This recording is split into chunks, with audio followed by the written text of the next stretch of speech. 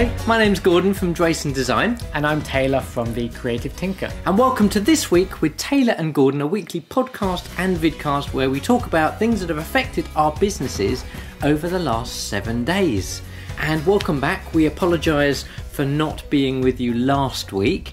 Um, life got in the way, really, didn't it? Yeah, so we had um, Jonathan, uh, or Permaslug, or he's actually rebranded himself to Jonathan um, now, but he um, is travelling around Europe and he came to London, so I got to see him. Um, we went to see some shows and went out um, tr- just exploring London and things like that and getting food. And it was really nice. Yeah, and that's why we weren't available. So, oh, excuse me. Hey, chee. hey, chee. Oh, pardon me. I do apologise. Um, so yes, uh, that's the reason why we weren't with you last week. However, lots of things have happened during have. this week. Um, so first of all, some news. I uh, am a member of the Magic Circle, as you probably already know. And on Monday, this last Monday, we had the Close Up Magician of the Year competition, uh, which is a uh, a type of magic where you do it sort of one to one or one to a small group of people. So it's very close up, hence the name. And uh, it's a very prestigious uh, award. It's one of the uh, probably the biggest award that the Magic Circle do, uh, and it's a big competition. And on the last Monday when we had it, I was asked to be a judge, uh, one of the magical judges, which is um, a very big honour. And I'd like to thank the Magic Circle for for asking me. It was uh, it was great to do it. Um, I basically got to uh, to watch the six acts, and then there were two other uh, very prominent magicians who were judges, and we also had some lay people. Now we call them lay people because they're muggles, basically, so non-magical people. Uh, the audience, the type of people we Yeah. perform for, uh, and they were in the room as well, and there were two judges from that group who also got to say who they thought was the best. And then the magician judges, we were judging it on different things like the entertainment value, the magic skill, and so forth. And uh, we had uh, three winners. Well, we had first, second, and third, and they were all very worthy. Uh, it was it was very very nice to be asked. So thank you to John Conway who asked me, and also thank you to the Magic Circle. So that's that. Um, what other news do we have? Uh, I'm not sure there is any at the moment. We'll come back to that if I think of any. So, do you want to start today? Yeah. So uh, back in October, I went to America and I um, bought uh, something called an Upright Go 2. Now, I bought this from the Apple Store. It's not an Apple product, but it's one of the products they have on the shelves in, the, in their stores. And what it does, it's a posture corrector. So what happens is it has an app and it sticks onto the back of your neck. And every time you are basically slouching, uh, it will vibrate. Um, it doesn't vibrate as soon as you kind of, um, you know, you, you're, you're slouching or you bend down or whatever. But after maybe 15 seconds or whatever you set it to, it will vibrate to say, you know, look, you need to sit up straight. Um, and it's a really good um, little tool, little gadget that I that I got, and I, I was using it for quite a while, and then the battery decided, you know, it just wasn't charging or anything like that. So I reached out to the company and said, you know, look, it's not charging. Are you able to do anything? And they sent me a brand new one, which was very nice of them. Um, so I've been wearing that this week, and um, you know, realizing that my posture is quite bad. You know, when I'm walking uh, Marty in the mornings, I normally think I am, you know, sitting up straight, but I'm not, and it's vibrating quite a lot for the time. You're sitting up when you go walking. Well, I'm I'm standing up straight, should I say? um, and also when I'm sitting at my desk as well, you know, it vibrates when I'm hunched over and I'm not sitting in my chair properly as I should. Um, and it's a good reminder, and it you know it should be one of those gadgets that you don't really need for a long time, because obviously once you've kind of uh, corrected your posture, you shouldn't need it. Okay. You know, and if you're if you're it's not vibrating at all, you know, for like a week or so, that would suggest that you have, you know, pretty good posture. But it's a nice kind of gadget, and there's an app that tells you how long you've been sitting up straight for or, or, or standing up straight, um, and you know, gives you kind of a score, and you can kind of see, um, but like the activity rings you get for your watch. um, and you can see each day how you're progressing, how many minutes you you you uh, had good posture. Um, yeah, it's quite it's quite fun. What's really funny is I'm sitting here and I can hear it vibrating while he's discussing Yeah. what happens, which is really funny. Um, so have you have you done some research on this? What what is the benefits of having a good posture? Um, it's probably just lots of things, you know, health health reasons. Um, yeah, What was your what was your main reason for purchasing it? Was it just that it was a gadget that you thought Um, I feel like my posture should be better? Yeah, it's I I notice it sometimes when I'm especially when I'm coding, I will very much hunch over my desk because just my brain is going. And your your hands are down on the keyboard, aren't they? Yeah, and so I realize that I do uh, have you know bad posture sometimes when I'm sitting at at my desk, and I thought if I'm going to be sitting at my desk, which I do a lot, I should probably you know be sitting properly um, because it's going to help me as I get older to you know your age and things like that. I don't want to be having a bad back or whatever. Yeah, Um, ancient. Yeah. Yeah. But you also have a standing desk, so are you using that for standing uh, at the moment? I haven't haven't uh, recently, but yeah, something that I I do um, use every now and again when I Because I know with your um, with your illness that you have, it's it's been difficult. But have you got to a, a point now where you think standing would would be possible, or you? Yeah, I, I enjoy standing for things like meetings. Um, although I've been told that I make people feel seasick because I kind of rock back and forth, um, just because it's you know you, you keep you keep yourself moving. But I have a, a standing mat that I sit on, which has helped a lot, um, and was one of the reasons why I couldn't stand up for long periods because standing on you know just carpet, I guess, is isn't good for your feet. Well, solid surface, isn't it? And this mat is sort of a bit more buoyant. yeah, it's a bit like a member foam mat. It's like one of those um, things you get in a children's playground, isn't it? So if they fall off, they, they don't sort hurt of. It's, themselves. it's a bit softer. A little that, bit like yeah. that. Yeah. So you, you sway backwards and forwards, do you? Yeah, or side to side, it depends. So now you need to get another sensor to stop you swaying. Yeah. You're just going to have I need to sensors all over your Get body. my own gimbal. Keeps me balanced and upright. Keeps you upright. Perfect. so that was nice of the company, though. They um, they, they saw there was an issue and uh, and sorted it out, which is yeah, what they should be and doing. They you know, very very quickly. I just emailed them saying they gave me a couple of things to kind of try to, to make sure that, you know, it wasn't just user error, but you know, and they then they sent one out. Very good. Oh, that's good. I think these little sensors and these little gadgets that you can get these days really sort of improve habits, I guess. Because your your the whole point of you having this sensor is to, to get you into the habit of of sitting up straight. And in fact, just talking about it, I'm doing it myself now. Yeah. I'm just sitting up straight. Um, so yeah, maybe uh, maybe you need to get um, more sensors once you've worked on one part of your body. You move on to the next part. Yeah, I, I also looked to see if it had an API. Sadly, they didn't. Um, I would have For your website. yeah, I would have uploaded it to my website, but they didn't have. Oh, they don't have any documented APIs. They probably do internally, but probably not ones they want to share with people. Um, but one thing I have been looking at is the Oura Ring, Oh yes. um, which Our uh, friend Mark has one of them. Yes, uh, and I have another friend um, at the at the, the gym that, that is looking at it, and yeah, they look really really cool. Um, you know, they they are similar to an Apple Watch. You know, they track your sleep and things like that, and other parts. Um, you know, your your body water and things like that, and um, yeah, they can. Uh, yeah, track track your things, and, and it's just another way. It's supposed to be a lot more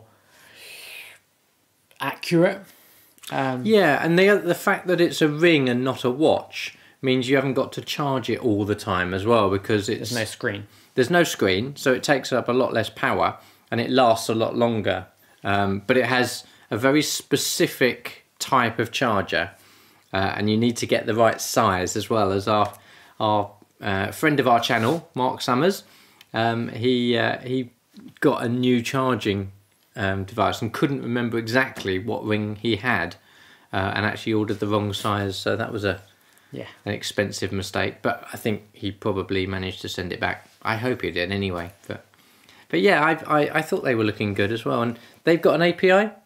Uh, they do, yes. I, I have looked at that. Um, and they do have an API which I could use if I wanted to. And I guess with with sort of when you've got uh, medical conditions, having these sensors and sort of being alerted ahead of time when there's something wrong uh, can can really benefit you. Yeah, I, I regularly get told by my Apple Watch that my my heart rate, my, my resting heart rate is quite high, um, which isn't good. I I'll be sitting down at my, my desk and it'll say your heart rate is 190 BPM, and I'm like, 190 seems very high. Yeah, but it's just very high. It might not be 190, but it was very high.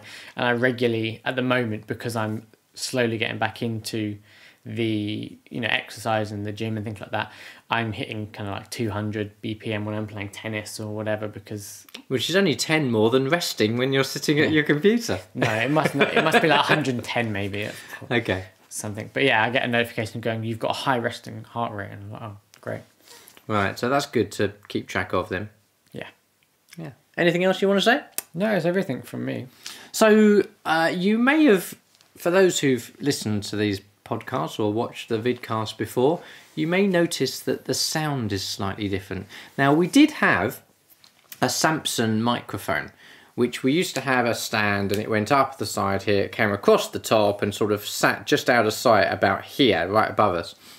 Um, and we used to have that going to um, the computer so that the, the sound was basically coming from the microphone, which is a higher quality sound than it would be if it was coming direct from the laptop. And after the latest OS update, the mic stopped working. Uh, it wasn't being recognized from the computer. And so we stopped using a mic. We were just using the inbuilt one from the laptop. Which was pretty good if you think. It wasn't bad. It, it, it definitely wasn't as good, No, of course. but it wasn't bad. You got a lot more ambient sound from the room, um, which is what you would expect when you've got you know a laptop. Which I'm not entirely sure where the microphone is, but I think it's possibly in the top of the screen, and the screen is only that thick. You know, it's very very thin, uh, and so the microphone is also going to be quite small, and it's never going to be the same as a, a dedicated microphone. So, with the podcasts that I have been recording recently, which is something that uh, I will uh, announce soon because it's not actually been launched yet, um, but I've been doing a podcast, a, sec- a second podcast, not this one, a sec- second one, and uh, I was doing them on Zoom. And again, the, the sound was coming through the computer, and I wasn't happy with it. It was just not as good as I want it to be because when people are listening to podcasts, the, the cleaner the sound, the easier it is to listen to it and to understand what's happening. So I thought I would invest in a new microphone because the one I had before was like 2009, I think I bought. No, earlier than that. Actually, maybe early 2000s. So yeah, it's- been a while since I bought that one. Uh, so I was looking around to see what there was, and there was lots of very expensive ones. And I don't mind paying for you know expensive microphones if they're going to do the job, but I don't want to pay for something that's very expensive when there's something a lot cheaper that will do the same job. Um, especially when it's a podcast, because we make no money out of the podcast. You know, we do it because we want to do it, and we want to share our knowledge with people. Um, and the new podcast is the same. It's not going to be earning me very much money, if anything. So I didn't want to spend lots and lots, but I did want to make sure I got good sound because quality is important. So I eventually settled on the Elgato Wave 3. Now, this is a microphone that is made by the same people uh, as the lights I have. So I've got some Elgato lights. And they originally brought out the Elgato, Elgato capture card, which is what they were most well known for. They were, yeah, and that was being used a lot by streamers, wasn't it? When you, you plugged it into your Xbox or your PlayStation or something, and it would then send the HDMI signal into your computer yes. uh, and capture it so that you could then stream. Um, and it's one of the one of the first companies that sort of discovered that this was a, a good thing and people wanted it, uh, and they did really well out of that. Yeah, so they've now got pretty much a whole suite of products and a lineup that all complement each other and all work together. So they've got the lights, they've got the microphone, they've got the capture card. and the Stream Deck, which is something I purchased during uh, lockdown. Yes. Um, and this is a little device with buttons on it that you can program. And they can do all sorts of things like open applications or mute your microphone or start scenes running in OBS if you're if you're streaming. Uh, it, it's got all sorts of different functions that it can do, and so I thought because I'm using that already and I'm in the Elgato ecosystem, if you like, getting their microphone might give me extra benefits like allowing me to link in with all the other things like Stream Deck. And sure enough, uh, it's got a whole section on the Stream Deck that allows you to basically tap on different buttons and you know mute it or change the gain or or whatever. Um, and hopefully it's sounding really good. This is the first time we've used it, for this podcast for this week with. Um, and you can't see it, but it's just down here. Uh, the one I got, I bought a couple of extras. There's a, a shock mount, uh, which is good because it means if there's any vibrations on the table or um, the stand that's holding the microphone, they don't go through into the mic and make a really horrible sound. And the other thing we have is a pop filter, which means that it takes away all the plosives. So when you speak and you say words like pop, you've got that, that gush of air that comes out for making the P sound and a B sound. Uh, and it's it's sort of like a, a metal grill that's sort of like um, cross crosshatch, if you like, and it stops that air from coming through to the microphone to stop that. So hopefully you're not getting any plosives, and it makes it a lot easier to to, to, to hear, a lot easier on the ears. Uh, and so, yeah, that's one of the things that I've recently bought, upgrading my tech. The other thing I had is I've got some some NAS drives. So these are big units with hard drives in them, so network area storage. And one of my drives had about 10 gigabytes, sorry, start again, 10 terabytes worth of space, uh, which I plugged into my main computer and anything that I needed, but I didn't need all the time, I would offload onto the network drive. Uh, and it meant I could still get to it. It wouldn't be as fast as the inbuilt hard drives, but I could still get to it anytime I needed to. Oh, cool. And because they're network drives, there's two advantages. One is they're in a RAID system. Now RAID basically means you've got several hard drives and the data is on is on at least two of the hard drives in your in your RAID stack. Uh, which means that when and not if when a hard drive goes down, you don't lose any data. Because what you do is you take that drive out, you put a new drive in, it reworks itself out to make sure that all the data is on, on at least two drives. So that as long as you only have one drive failure at any one, any one time, your data will always be safe, which is always a concern with hard drives because Yes. they do die. They will die at some point. Um, it's not a matter of if, it's a matter of when. Um, and the one, uh, the other drive I have is a backup. Uh, and I've been putting um, my movies onto the, the network storage as well so that they're available for all devices in the house. So you can sit there with your iPad or your phone or sitting watching the TV with Apple TV and you can just pull up one of the films that I've got on DVD without having to get a DVD player. We don't have a DVD player in the house anymore. Well, I have one for, for testing, but we don't have any actual DVD players that we use to watch films anymore. So by having this network storage and having all the films that we we have on there, we can watch it at any time, which is which is just great. However, last week my backup drive and my extended storage both had a drive failure and I took the drives out. And something you may not know is if you go to these are Seagate drives that I'm using. They're bare three and a half inch SATA drives. That's the tech spec of them. Uh, and if you go to Seagate's website, you can type in the serial number and it will give you the warranty information. Because these drives have a warranty of normally between three and five years.